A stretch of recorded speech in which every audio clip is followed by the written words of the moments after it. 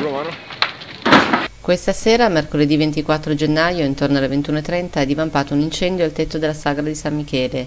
Le fiamme, scaturite per cause in corso di accertamento, hanno interessato una porzione di tetto dove erano in corso alcuni lavori di restauro. Sul posto sono prontamente intervenuti i vigili del fuoco di Avigliana, Giaveno, Rivalta, Borgone e Torino, oltre ai carabinieri di Avigliana. Le fiamme sono state domate dopo oltre un'ora di lavoro.